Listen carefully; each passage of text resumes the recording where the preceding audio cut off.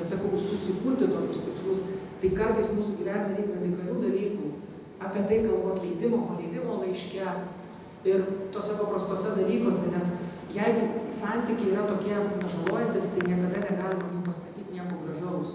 Ir žinot, jeigu mes gausim galę bendrauti vienas su kitu taip, kaip norėtume, kad su mumis bendrautų, pasverti kiekvieną žodį, kiekvieną veiksmą, tai mes tapsim praktiškai nenugalima visuomenė, tai reiškia brolių, visuomenė, kur yra tvirta.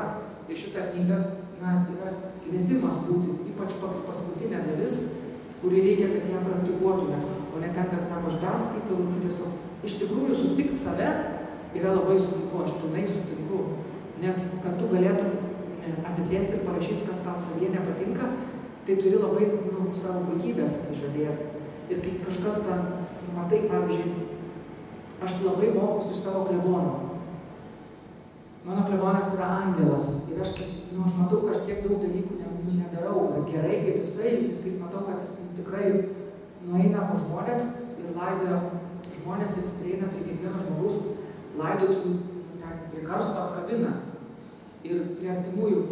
Ir sako, būna taip, kad žmonės sako, ko tu čia dabar lendi kaip koks durnius. Ir sako taip, kaip pavyzdžiui žmonės pasako, po to kokį mėnesį mane atmuša ir aš nebenoriu prie tų žmonių. Ir po to sako, vėl aš pradedu eiti. Ir kai prieš penkis metus atkėlė į parapiją, tai pas mus parapijoje nei vienas žmogus nesišypsojo. Ir sako, galvoti, žmonės tokie pikti, jie nesišypso. Ir sako, aš pradėjau šypsotis, na, du metus kiekvieną dieną, dalindamas komuniją, pradėjau šypsotis. Dauguma žmonių, kokią 80 procentų parapijoje pradėjo šypsotis per keturis metus. Visi kiti sako, nu žiūri kaip vidurnių kokį. Tarsi gal klebonas kažką padarė, ne taip, ar kas liturgijoje įvyko, kad žmogus nusišypsojo, gal kažką patarnauti ten padarė, ne taip.